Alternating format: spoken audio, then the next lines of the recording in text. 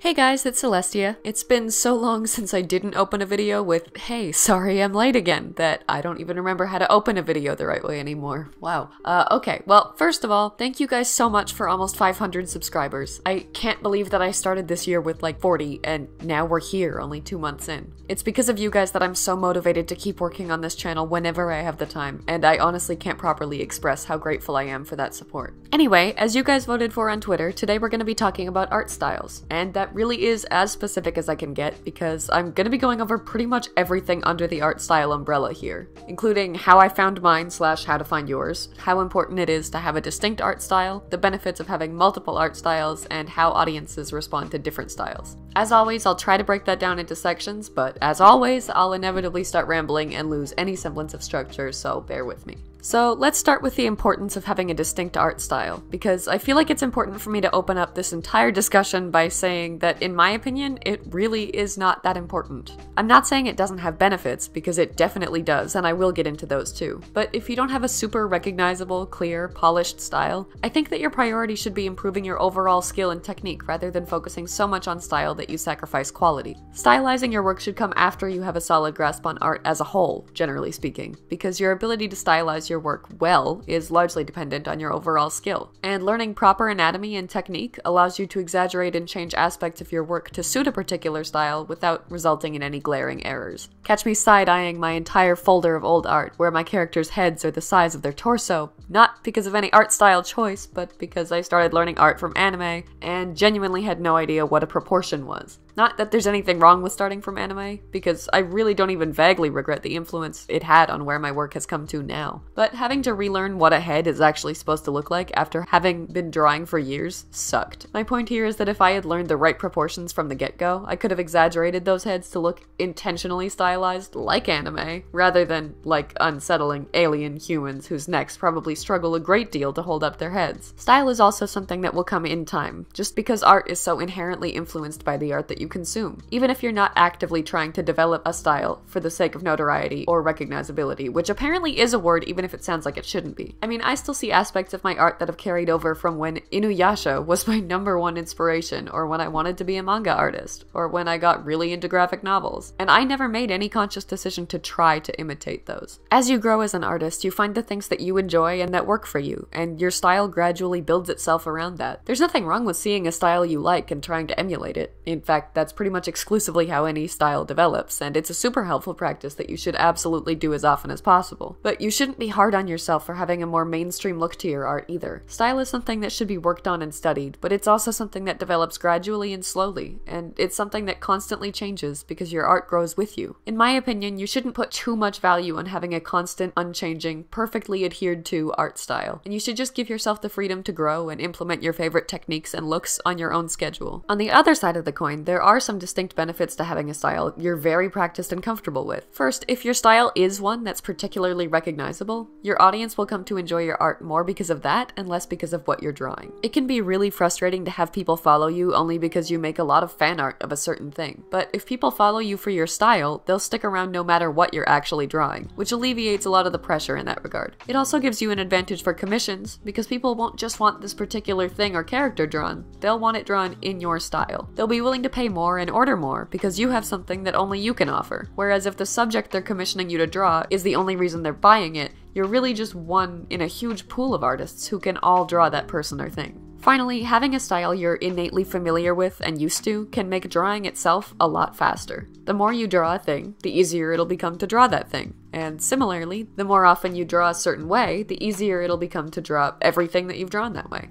This is one huge argument that I found against the whole let your style grow with you point because if your art style is constantly changing, you don't develop the same speed and ease with drawing everything a certain way, so you'll have to spend more time looking at references and making conscious decisions to achieve a certain look with your work. I personally think that you'll grow more as an artist if you do take that time to constantly learn and develop what you're doing, but I also think that if you're doing this professionally, it can be difficult to allocate that kind of time for something like that and it can be a lot more beneficial and feasible to prioritize speed over growth. It really comes down to what works best for you and what your preference is.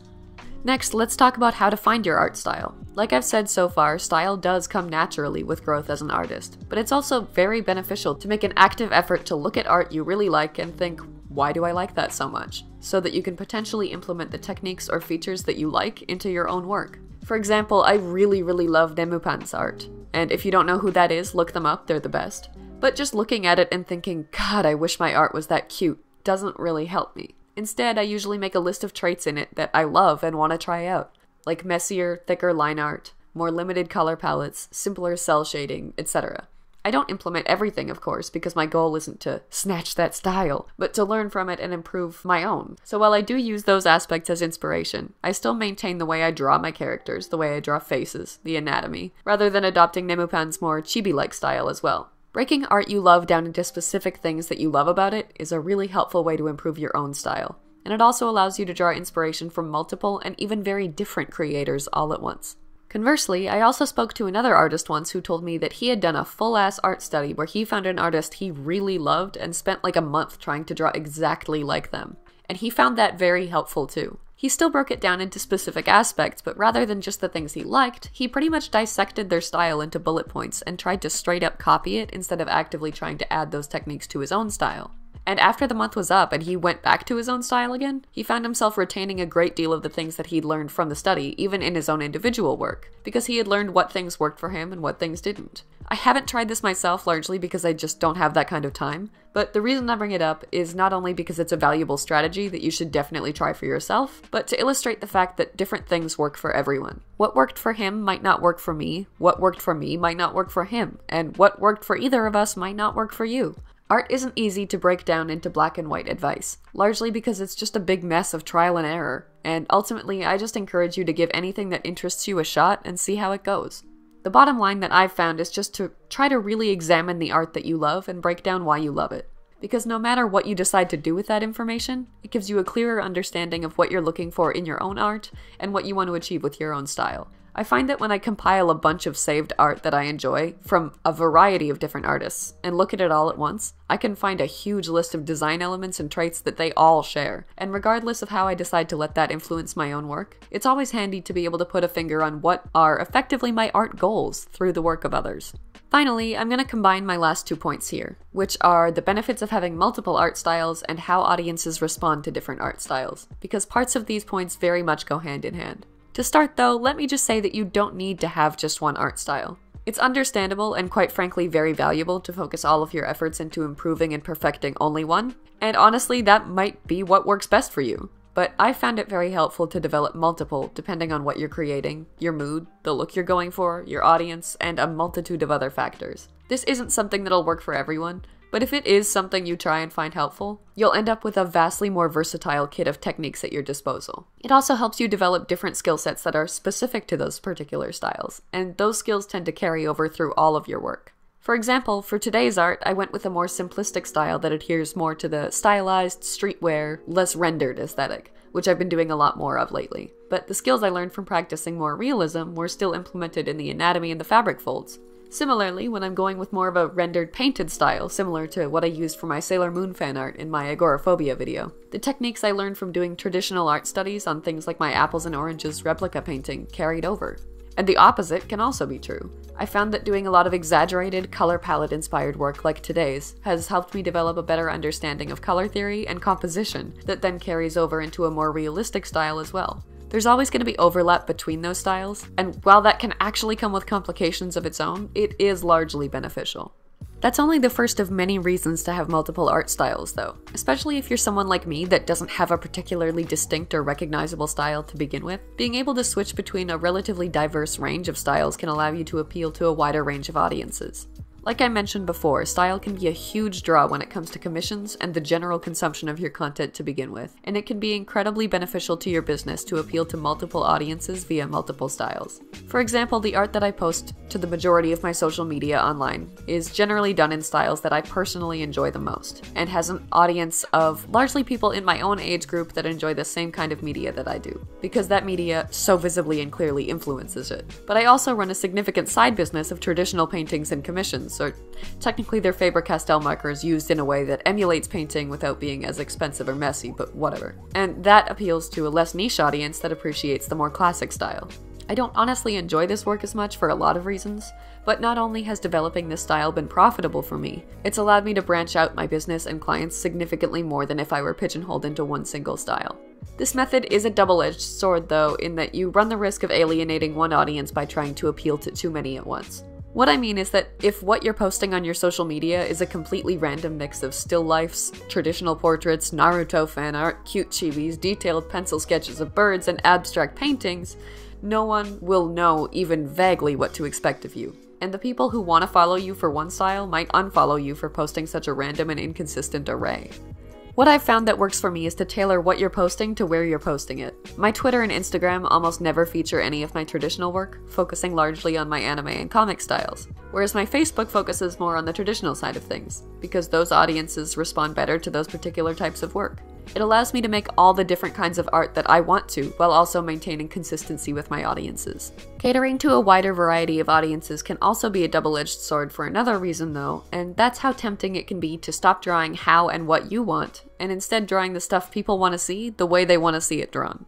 I focused on a month of doing commissioned traditional paintings, and the engagement on my Facebook as well as the sheer profit was enough for me to be unbelievably tempted to pursue that more significantly, despite the fact that I found it very, very draining and didn't enjoy it in the same way that I enjoyed my more anime, cartoony style. Don't let your audience control what you make. Just market what you make in the smartest way possible, so as to do what you're already doing in a manner that allows you to reach a wider range of people. Finally, the last point when it comes to how different audiences react to different styles is to not let people's preferences define how you see your art. For example, when I posted my apples and oranges replica, 90% of my family suddenly started saying, Whoa, I knew you could draw anime or whatever, but this, this is amazing. You should do way more of this. Because to them, that traditional look was real art and exemplified more skill than my digital stylized stuff. And while it was very flattering to have people tell me that what I made was good, it was also absolutely crushing to essentially hear, don't waste your time with that anime garbage when you could be making this, when I enjoy making both and think both are good in different ways.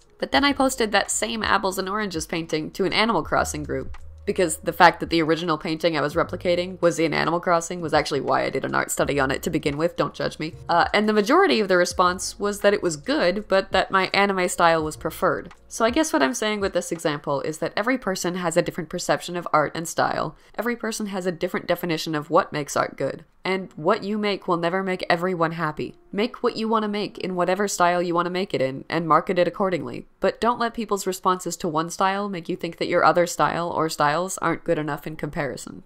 Anyway, I could go on for an appallingly long time about art styles, in large part because there are valid points to be made in defense of every approach to them. But this video is already too long, so I'm going to leave it at what I've said already. I will wrap this up by saying that honestly, however you decide to develop your style is 100% the right way for you. Because there's just really no one right way for everyone to go about growing as an artist and growing your individual style and look. It's a process that's completely dependent on you, your preferences, your pace, where you started, where you want to end up, and a million other variables. And the points I've made in this video are really just the points that I've learned from my specific experiences. You could probably do the exact opposite of everything I suggested and still end up with a cool style just the same. So take what I said here with a grain of salt. The bottom line is to just let yourself and your art grow at your own pace and in your own way, and appreciate it for exactly what it is.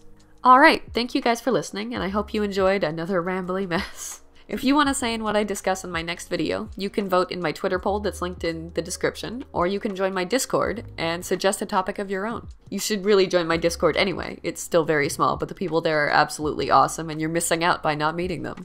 We also share art memes, and that's a draw in and of itself. Anyway, if you enjoyed today's video, please consider leaving a like and subscribing, and I'll see you in my next one.